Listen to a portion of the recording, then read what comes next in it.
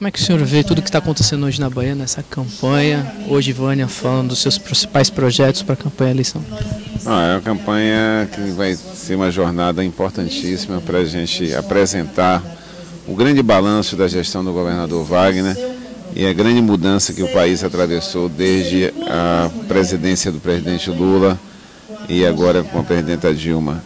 E vamos ter também a oportunidade de elegermos uma bancada comprometida com esse projeto. E Vânia Galvão, com certeza, já é uma grande vereadora e vai ser uma deputada estadual que vai representar uma base de sustentação para fortalecer o trabalho que o nosso próximo governador Rui Costa vai estar coordenando.